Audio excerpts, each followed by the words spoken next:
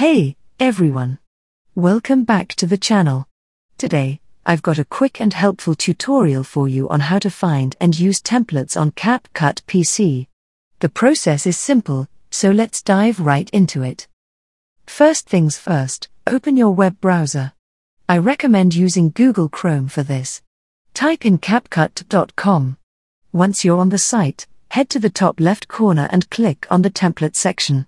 Here, you'll find a variety of templates organized into different categories, but you can explore the various categories. Scroll through the pages and find a template that suits your project.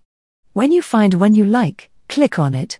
This will show you a preview window and provide details like the number of clips required, aspect ratio, and how many people have used it. To use the template, click on Use this template. It will open up in the CapCut video editor, where you can start customizing.